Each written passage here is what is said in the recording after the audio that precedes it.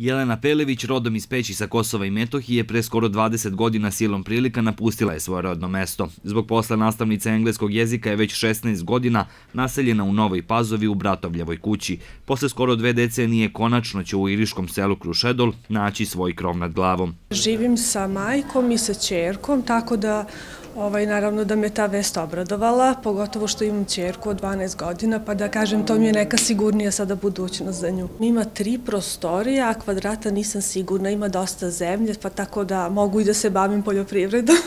Pelevići su jedna od pet porodica kojima je dodaljeno 9.500 evra za kupovinu kuće sa okućnicom i 1.500 evra za dodatnu pomoć u građevinskom materijalu. Kriterijum je bio da lica koja e, apliciraju na ovaj projekat imaju najmanje šest meseci boravak ili prebivalište na teritoriji naše opštine, da su stambeno neobezbeđeni, odnosno da nemaju nepokretnosti u vlasništvu niti na teritoriji Republike Srbije. Ovo je budžetski projekat koji naša opština, kao i sve ostale budžetske projekte, sufinansira sa 10%.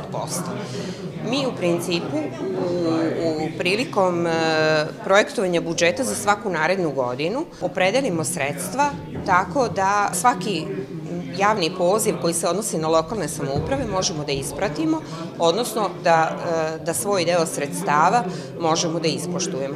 Otkupljene su tri kuće u Novoj Pazovi, Vojki i Belegišu i po jedna kuća u Iriškom Krušedolu i Sremskom-Mitrovačkom selu Šuljam, čime će ove porodice trajno rešiti stambeno pitanje. Ukupna vrednost projekta je 11,5 miliona dinara.